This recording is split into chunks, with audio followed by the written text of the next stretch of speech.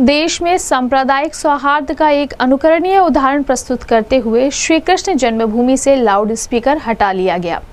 यही नहीं, गोरखनाथ मंदिर परिसर के लाउड स्पीकर की आवाज़ भी धीमी कर दी गई है।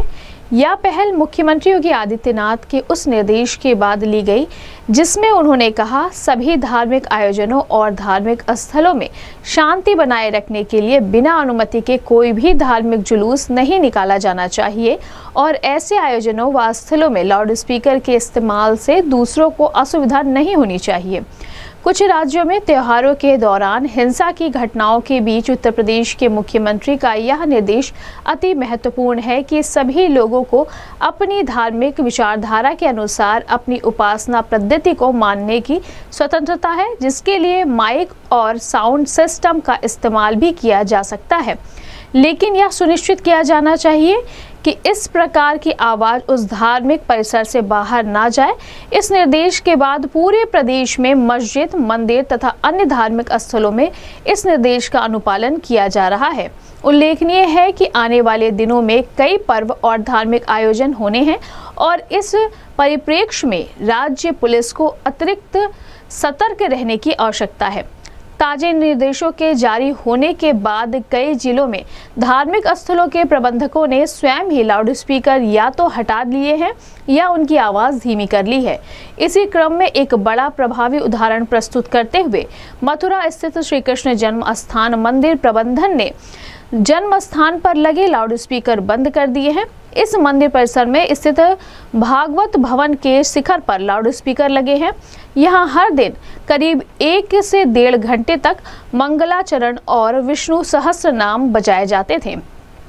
इससे ही दिन की शुरुआत होती थी। अब इसे रोक दिया गया है। गोरखनाथ मंदिर में भी मंदिर परिसर में लगे लाउड स्पीकर की आवाज़ धीमी कर दी गई है। साथ ही उन्हें बाज़ार, सड़कों और अन्य सार्वजनिक स्थलों की ओर से हटा दिया गया है। इसके अतिरिक्त कानपुर, लखनऊ, नोएडा व अन्य शहरों में भी धार्मिक स्थलों पर लगे लाउड स्पीकर या तो हटा लिए गए हैं या उनकी आवाज़ इतनी धीमी कर दी गई है कि वह परिसर के बाहर सुनाई ना दे। मुख्यमंत्री ने एक ट्वीट करके यह स्पष्ट कहा कि कोई शोभा यात्रा धार्मिक जुलूस बिना विधिवत अनुमति के न निकाली जाए।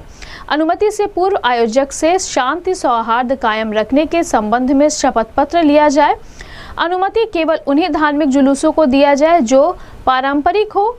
नए आयोजनों को अनावश्यक अनुमति ना दी जाए।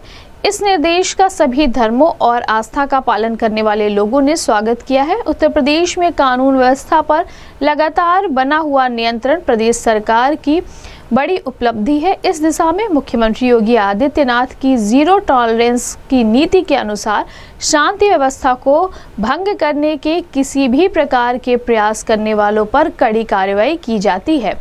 मुख्यमंत्री की ओर से संबंधित प्रशासनिक व पुलिस अधिकारियों को स्पष्ट निर्देश दिए गए हैं कि ऐसे किसी भी प्रयास को सफल नहीं होने दिया जाए।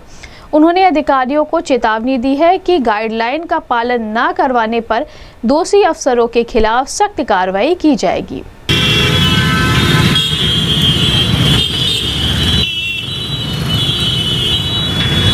कर्मचारी